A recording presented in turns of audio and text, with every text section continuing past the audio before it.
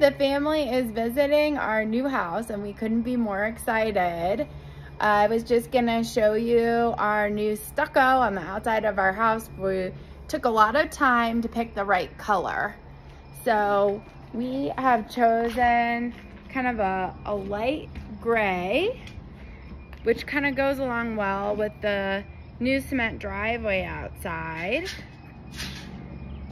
and it's nice and warm. We didn't want anything too brown because we have the black siding as well as the brown siding. And so we tried a bunch of different colors. And one thing that I learned is that um, you can make stucco whatever color you want. So you basically just mix paint with it. So whatever paint color you want uh, is a stucco color. And then once you mix it together, uh, it turns out pretty cool. Anyways, I hope you're having a good day. Thanks for listening to my update. Bye.